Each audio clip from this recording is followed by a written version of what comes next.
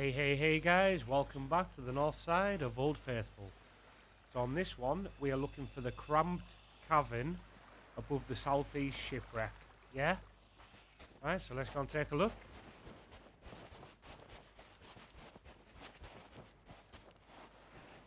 Be a bit of um bit of a thing on this one. Is it it's like all these hidden, hidden caverns you get around the island. There can be quite thing to try and find. Ah, bugger it. Let's take a. Why we always carry fruit on us. Or fish.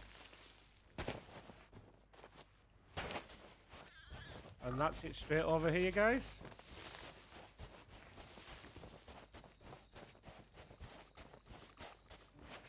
And this is what you're looking for right in here. This is your cramped cavern. Yeah? Well, guys, should we light the fire?